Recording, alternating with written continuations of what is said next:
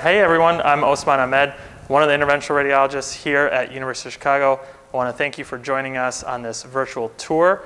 I will be your tour guide and um, we're going to start out here on the seventh floor of the CCD building. Our interventional suite is in this building, but this is where our patients will be checking in.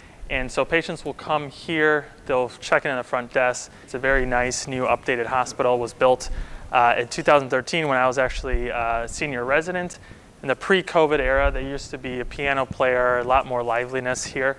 Um, but it's still, as you can see, a very modern, updated, beautiful place. You can check out the city skyline. Pre-COVID era, we used to have vascular conference over here. Dialysis conference used to be up here. So a lot of different conference rooms, meeting space. Hopefully we'll get that normalcy back and uh, be able to use those spaces again too.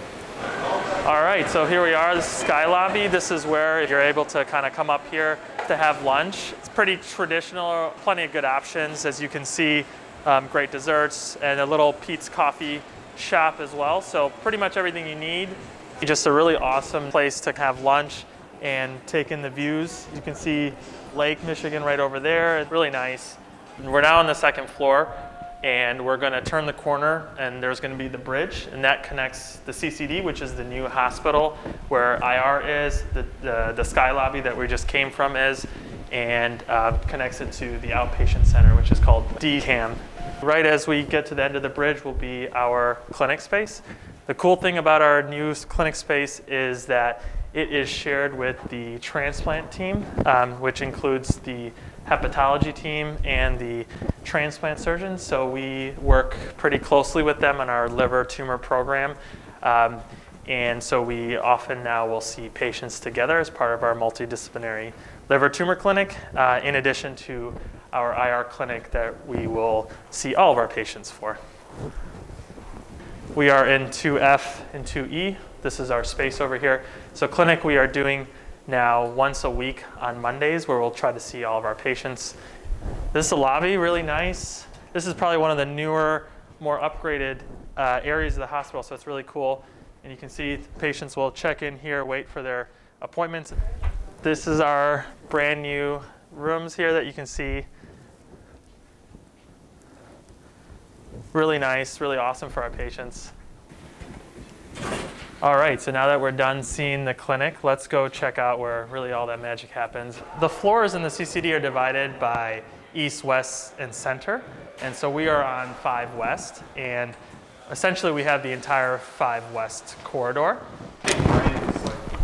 We have now made our way over to the IR reading room, and as you can see here, we kind of have a multiple workstations. The really nice thing about our reading room is you can monitor all the procedure rooms from inside uh, the reading room itself, so you don't even have to get up.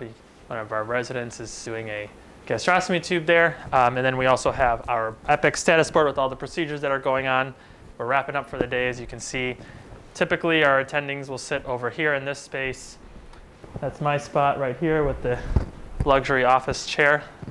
Each year, the fellows give us a class gift, and this is probably one of our most prized possessions that we do have here. This is the Dr. Tom Tullius class of 2019 water cooler rack.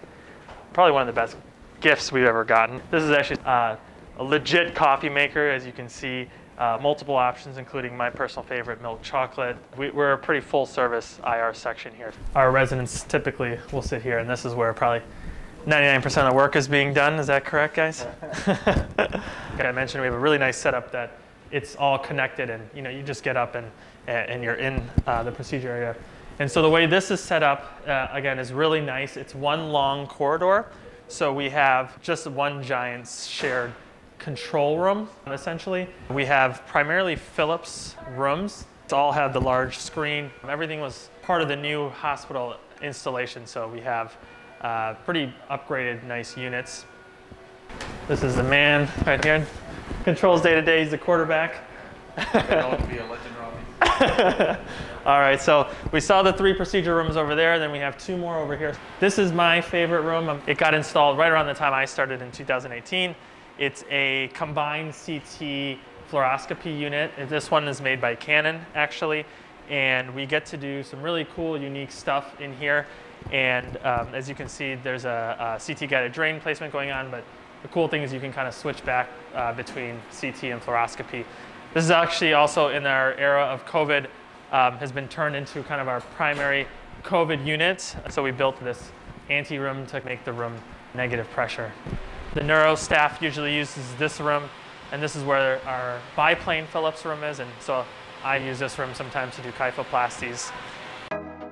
I can really tell you that this is a great place to be, both as a trainee and as an attending. The residents and fellows have incredible autonomy. You really can pick and choose the types of cases you want to do. Everybody's very laid back here, no malignant personalities. Everybody gets along really well. It's just a great overall atmosphere for people who are interested in research. There's an incredible wealth of resources, so really can't say enough about how this place is ideal for people that are interested in a well-rounded IR program.